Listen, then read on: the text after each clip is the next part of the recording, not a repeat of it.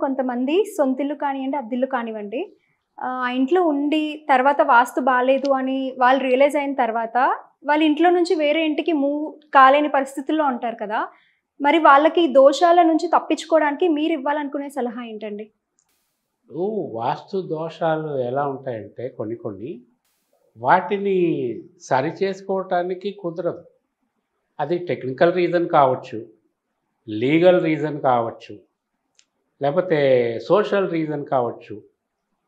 Technical reason అంటే అక్కడ construction అక్కడ ఉన్న స్ట్రక్చర్ని బట్టి మనం ఏమి మార్పులు చేసుకోలేము. సోషల్ రీజన్ అంటే ఆ పక్కింటి వాళ్ళు ఆబ్జెక్ట్ చేయొచ్చు పైన కింద వాళ్ళు ఎవరైనా ఆబ్జెక్ట్ చేయొచ్చు. ఫ్లాట్స్లో జనరల్గా ఈ ప్రాబ్లం ఉంటుంది. లీగల్ రీప్లం అంటే ఆల్రెడీ దాని మీద ఏదైనా కేసు కోట్లాటలు ఇవన్నీ ఉంటాయి వ్యాజ్యాలు అటువంటప్పుడు వీళ్ళు ఏ మార్పులు చేయటానికి కుదరదు. చేయటానికి వీల్లేదు. ఇలాంటి అనేక కారణాలు ఉంటాయి. కానీ అందులో ఉండాలి తప్పదు. ఇకనే ఆ వాస్తు దోషాల వల్ల వీళ్ళు సఫర్ అవుతూనే ఉంటారు. ఇట్స్ వెరీ కామన్ చాలా కేసెస్లో ఇట్లా ఉంటుంది. అయితే కొంతమంది ఏం చేస్తారంటే వాస్తు బాగలేదని తెలిస్తే ఓనర్స్ ఆ ఇంటి ఓనర్ కానీ ఫ్లాట్ ఓనర్ కానీ ఇది బాగలేదు అది ఖాళీ చేసిపోయే పరిస్థితి లేదు అందుకని అది ఇంకెవరికన్నా రెంట్కి ఇచ్చి వీళ్ళు ఇంకొక దగ్గర పోయి ఉంటారు.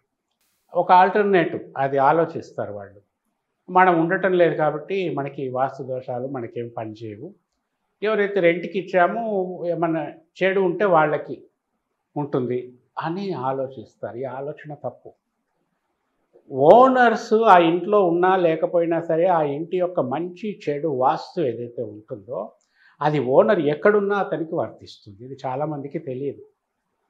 బాగలేకపోతే అవాయిడ్ చేసుకోవటానికి రెంట్కి ఇచ్చేసిపోయి అమ్మాయ మనం బతికిపోయామనుకుంటారు అది తప్పు. ఒకవేళ వాస్తు బాగుండి అది రెంట్కి ఇచ్చిపోయినా వాస్తు యొక్క మంచి ఫలితాలు వీళ్ళకి ఎక్కడున్నా వస్తాయి. సో మనం ఏంటంటే తప్పనిసరి ట్రాన్స్ఫర్ అయిపోయి ఫ్లాట్ వదిలిపెట్టి ఇంట్లో వదిలిపెట్టి ఇంకెక్కడో వెళ్ళి వాళ్ళు ఉండవలసి వస్తే అది మన ఫేట్ కానీ కావాలని ఇంకొకరికి చెడు జరగాలని మనం రెంట్కి ఇచ్చి మనం మాత్రం ఇంకొకరిది అట్లా ఎప్పుడు చేయకూడదు. ఏంటంటే ఒకవేళ వాస్తు బాగా లేకపోతే అత్యవసర పరిస్థితుల్లో చేసుకోవాల్సినటువంటి కొన్ని రెమెడీస్ ఉంటాయి. అవి చేసుకోవచ్చు. కొంతమంది వాస్తు మాకేం నమ్మకం లేదు అని స్ట్రైట్గా రెంట్కి వస్తారు అది వాళ్ళ ఇష్టం. మనము దాని గురించి మనమేం మాట్లాడే అవసరం లేదు. కానీ మనకు సంబంధించినంత వరకు మన ఇంట్లో ఎవరు వచ్చినా కూడా కిరాయికి వచ్చిన వాళ్ళంతా బాగుండాలంటే మన వంతు వాస్తుకు తగిన పరిష్కారాలు కానీ రెమెడీస్ కానీ మనం చేసి పెట్టాల్సిందే. అది ఎన్నో రకాలు ఉంటాయి వాస్తు దోషాలు అన్నప్పుడు. సో మెనీ ఇన్యూమరబుల్ వాస్తు దోషాలు. అక్కడ ఉన్న దోషాన్ని బట్టి ఏ విధమైన పరిష్కారం చేసుకోవాలో అది చేసుకోవాలి. చాలాసార్లు ఏమవుతుందంటే అది సొంత ఇల్లైనా అయినా లేకపోతే రెంటెడ్ ఇల్లైనా అయినా పెద్ద ఇల్లు అయినా చిన్న ఇల్లు అయినా మనకి మన బడ్జెట్ వాస్తు సరి చేసుకోవటానికి కుదరదు. మనకి వాస్తు మీద నమ్మకం ఉంది కానీ తప్పకుండా ఉండవలసి వస్తుంది. ఇదే కదా మీరు అడిగారు. ఇటువంటి సందర్భాలలో ఏమిటంటే చాలా చిన్న చిన్న చిట్కాలు ఉన్నాయి అది ఎటువంటి వాస్తు దోషమైనా ఉండని. ఈ చిన్న చిన్న చిట్కాలు ప్రయోగించటం వల్ల ఈ వాస్తు దోషాల యొక్క సాంద్రత తగ్గుతుంది. వాస్తు దోషాలు ఉంటాయి కానీ వాటి పవర్ అన్నది తగ్గుతుంది. ఇక్కడ ఉన్న వాళ్ళకి ఇదివరకన్నా ఇప్పుడు బెటర్ రిజల్ట్స్ రావటం మొదలు పెడతాయి. ఎవరైనా ఈ చిన్న చిన్న చిట్కాలు చేసుకోవచ్చు. అవి ఏంటంటారు గురువు గారు ఒకటి ఏమిటంటే మీరు క్రమం తప్పకుండా ప్రతి మంగళవారము రాత్రి ఎయిట్ ఓ క్లాక్ తర్వాత ఇంట్లో మొత్తము ధూపం వేయటం. ఏదైనా మంచి సాంబ్రాణి చూసుకోండి. చూసుకొని చక్కగా నిపుణమైన పకీర్లు వేస్తారు కదా. అట్లా నిపుణపైన సాంబ్రాణి ధూపం వేసి అది కొన్ని సాంబ్రాణిలు ఉంటాయి అవి చాలా పవర్ఫుల్గా ఉంటాయి. అవి అంతటా దొరకవు. ఏ సాంబ్రాణి అమ్మే వాళ్ళ దగ్గరికి వెళ్ళి మంచి సాంబ్రాణి మంచి క్వాలిటీ సాంబ్రాణి కొంచెం ఎక్కువ ధర ఉన్నా సరే తీసుకొని పౌడర్ చేసి ఈ నిప్పుల మీద సాంబ్రాణి చల్లుతూ ఆ ధూపాన్ని ఇంట్లో ఒక్క గది ఇల్లు కావచ్చు రెండు గదుల ఇల్లు కావచ్చు ఒక ఫ్లాట్ కావచ్చు భవనం కావచ్చు.